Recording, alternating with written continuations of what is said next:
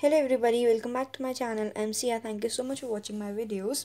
So today what are we gonna do is we're gonna continue with our chapter electricity class 10 of our own science book.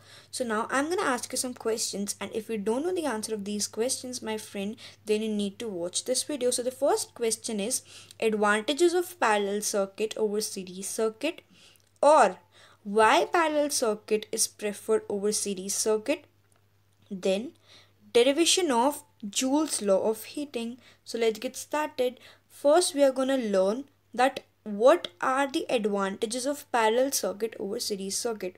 So the first advantages advantage is in series when one component stops working then the other also stops working whereas in parallel there is no such problem so what is the meaning of this advantage it means कि जब भी कोई series circuit होता है तो अगर अब series के अंदर आप फॉर एग्जांपल आपने एक अपना फ्रिज और अपना फ़ैन अटैच किया।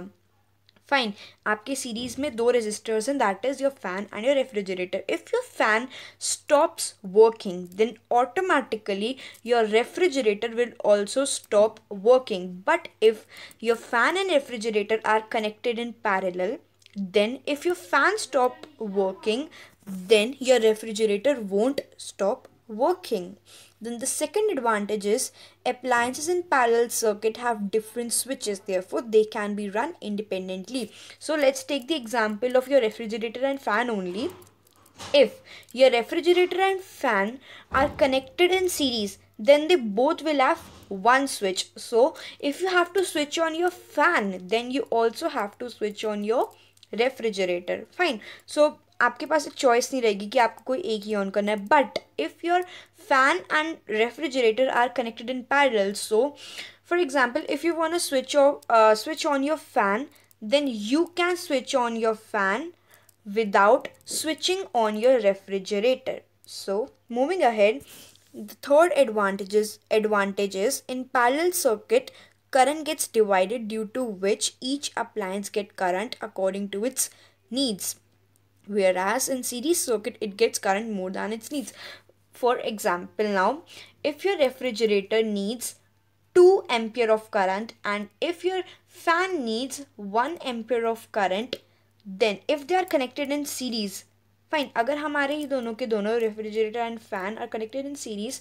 तो अब हमारा two ampere plus one ampere कितना हो टोटल थ्री थ्री एम्पियर अब यू ऑल नो कि सीरीज़ में करंट क्या होता है हमेशा सेम होता है। तो अब फ़ैन को भी थ्री एम्पियर करंट मिलेगा और रेफ्रिजरेटर को भी थ्री एम्पियर करंट मिलेगा which means that they both are getting current more than their need fine अब पैरेलल सर्किट में तो वी ऑल नो कि करंट गेट्स डिवाइडेड अब करंट डिवाइड हो जाएगा तो they both will get the current according to their need So the fourth advantage is there is no division of voltage among the appliances when connected in parallel अब हमने series में अपने refrigerator और fan को connect किया तो उनको तो वोल्टेज डिफरेंट डिफरेंट मिलेगी। फॉर एग्जांपल अगर 220 वोल्ट हमारी वोल्टेज टोटल आ रही अगर हमारी 220 वोल्ट की लाइन है, हमें वोल्टेज 220 वोल्ट मिल रही है तो दोनों के अंदर डिवाइड हो जाएगी वो। अब दोनों को तो चलने के लिए क्या चाहिए? If they have to run they need two twenty volt of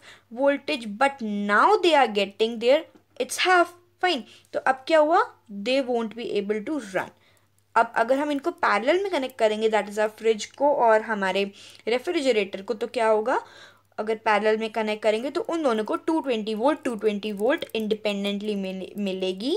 इसीलिए कोई प्रॉब्लम उनको नहीं आएगी in running moving ahead now we are gonna start with the derivation of Joule's law of heating firstly we are not going to look at the first step firstly we are going to look at the second step we know that the formula of power is v up v into i हम इसको junior classes से पढ़ते आ रहे हैं that the formula of power is v into i and now we know that i equals to q upon t that is current equals to charge upon time so अब अभी आपको पता चलेगा कि power equals to V into I इसीलिए हमने first step क्या लिखा है हमने आई को आई की वैल्यू को सब्सटीट्यूट किया है किससे?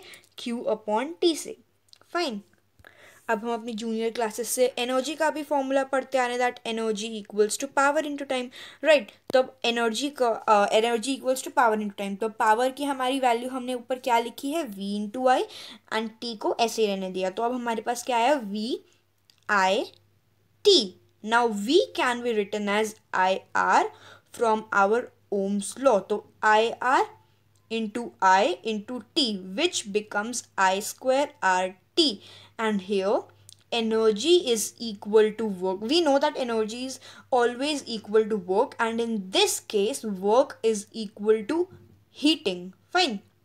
तो इससे क्या होता है H equals to I square R T so अब हमें एक और फॉर्मूला मिल गया H equals to I square R T so now let's do some questions regarding this Formula. So there's one question that an electric iron consumes energy at a rate of 840 volt. So the power is given as 840 when heating is at the maximum rate and 360 volt when the heating is at the minimum. तो दो powers दी हुई है 860 and 360 fine अब जब हमारी जब हमारी heating maximum rate पे है तो 840 और जब मिनिमम पे है तो 360 वोल्ट फाइन अब हमें वोल्टेज दी हुई है 220 volt what are the current and the resistance in each case so firstly we are going to calculate current in each case from the uh, from our formula uh, p equals to v into i we are going to calculate firstly for uh, so firstly we are going to calculate our current in the maximum rate. Fine जब हमारी heating क्या थी? Maximum पे। तो इसीलिए हम 840 vote का पहले निकालेंगे। From the formula P equals to V into I we are given with the P we are given with 220 volt that is potential difference तो we can easily calculate I अब हमें आई पता है और V पता है। So from Ohm's law that is V equals to I R इससे हमारी रेजिस्टेंस आ जाएगी। सिमिलरली हमारा जब हमारा when the heatings at minimum rate तब हमारा उससे करंट और रेजिस्टेंस आ जाएगा। So I think it's very simple so move let's move on to the second question question that is hundred joule of heat is produced each second in a four ohm resistance find the potential difference across the resistor so we know that the formula of heat is H equals to I square R T and in this question we are given with the heat time that is 1 second heat is 100 joule. And uh, so let me tell you sorry i forgot that the SI unit of heat is joules. Then we are given with the resistance that is 4 ohm. So firstly we need to calculate I. So from our formula that is H equals to I square RT we'll be easily able to calculate current that is 5 ampere you can see from the solution and then we are asked to find potential difference across the resistor so we can find the potential difference with the formula of V equals to IR because we are given with the resistance and now only we calculated current as 5 ampere. So I think you all have understood all the things which I have taught you in this video. And you have if you have any query then you can comment down below and ask it please don't hesitate. I'll try to resolve each and every query of yours. And guys please subscribe to my channel. It's completely free. Please subscribe. And yes if you like this video then please give it a big fat thumbs up which i know you did. And until my next video please stay tuned. Bye